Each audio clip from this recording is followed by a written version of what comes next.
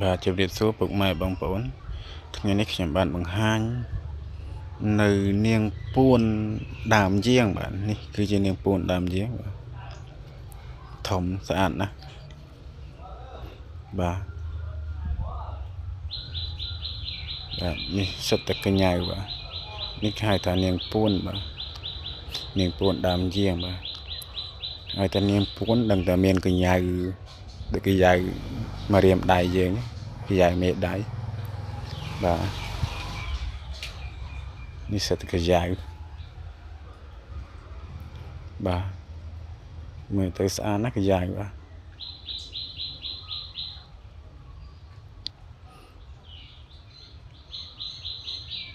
កញ្ញៅដូចកញ្ញៅមេដៃអញ្ចឹងនេះគេហៅថានាងពួនបាទ បាទស្អាតធំ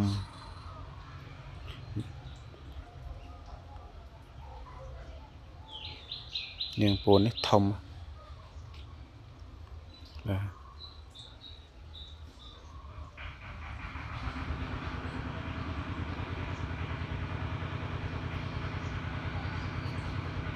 សិតតែកាយ៉ៅ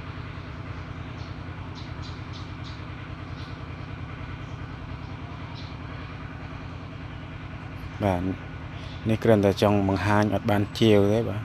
គ្រាន់តែចង់បង្ហាញឲ្យបងប្អូនស្គាល់បាទស្គាល់ពីនាងពួនបាទដើមឈើណាក៏មាននាងពួនដែរប៉ុន្តែมันងាយកម្រនឹងបានជួបបាទអ្នកដែលបានជួបស្រាប់មាននិស័យជាមួយ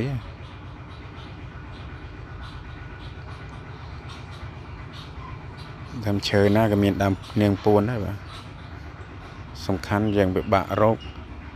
មិនងាយជួបអញ្ចឹងបាទនេះសកញ្ញៅកញ្ញៅយ៉ាងពួនបាទបាទសូមអរគុណសូមជួយ Subscribe ផង